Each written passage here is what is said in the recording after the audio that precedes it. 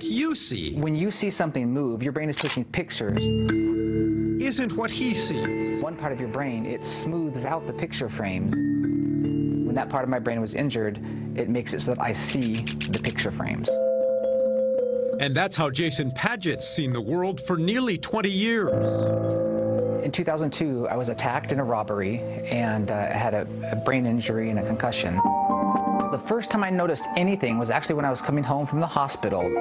The next day, when I watched water go down the drain and the smoothness was gone, instead of it just flowing smoothly like it used to, it looked like little tiny straight, like little tangent lines uh, slowly spiraling down. Everything has a slightly pixelated look. It was fascinating. It was also very scary. After being assaulted, um, he had a perceptual change, started seeing things differently, So algebra is just like a piece of graph paper. and uh, has a particular type of synesthesia where um, he sees lines. And for him, that translated into a, a greater understanding of mathematics. In fact, it would make Jason something of a math genius, eventually drawing out the equations and mathematical patterns he was seeing in his head. They put me in uh, these things called functional MRIs, and they found that I had conscious access to areas that we normally don't have conscious access to. I was diagnosed with savant syndrome or acquired savantism. They're syndromes, so it's not a diagnosis per se. Dr. Matt Dahl works at a research clinic in Wisconsin that's treated Jason for what they call sudden genius syndrome. Um, we probably currently have uh, a little over 100 people uh, that have reported these things. kind of mind blowing.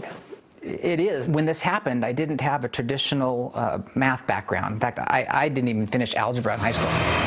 But after going back to school, now Jason says he sees math in just about everything from the clouds in the sky to the roads that we drive, every shape, every circle, part of an equation we can all learn from. Math is literally everything. We are math. Uh, the universe is. Everything that we experience is. What an experience it's been giving TED Talks, news interviews around the world. Now he even has a book. If you could see the world through my eyes, you would know how perfect it is. But it hasn't all been perfect, like any life story, full of pluses and minuses. Like many of our savants also had, you know, this downside. He describes a significant amount of uh, anxiety and OCD symptoms.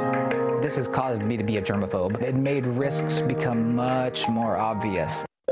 What's funny is in the long run, it turned out to be the best thing that ever happened to me. I would not have my children. I wouldn't have my wife. I wouldn't have the book. I wouldn't have a movie. I wouldn't have my family. And I wouldn't have this new love for life and this fascination just with everything. Dan Spieler, NewsNation, Indianapolis. Thank you so much for watching. Make sure to click on the red subscribe button below so you can get more of NewsNation's fact driven, unbiased coverage.